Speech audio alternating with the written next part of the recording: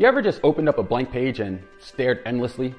It's blank page anxiety, and today Gen AI will help you jumpstart any writing project with instant drafts and outlines. No more staring at the screen and wasting time. AI can quickly generate structured outlines, rough drafts, or even expand bullet points into full paragraphs. This is a game changer for essays, reports, blog posts, or speeches. By providing a topic and a little direction, you can get a solid starting point and iterate from there. Let's check out a few examples of how this may work. For our first prompt, we may say something like, create an outline for a blog post about the benefits of remote work. And our output would be something like, introduction, flexibility, productivity, work-life balance, challenges, and conclusion. Next, I say, write a draft introduction and first section. And the output should give you a short intro paragraph and a section on flexibility. Then prompt, expand on the challenges section with examples.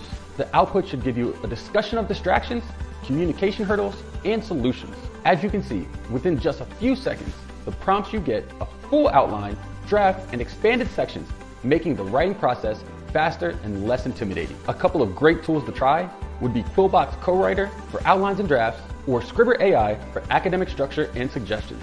Your 60 second challenge. Pick a writing task, an essay, blog, or report, ask the AI to create an outline for this topic, and then draft the introduction. Then ask it to expand one section and share your final draft. A few quick tips give clear direction on tone, length, or audience. Use the outline to spot gaps or rearrange sections. Don't be afraid to edit or rewrite the AI's draft. It's your starting point.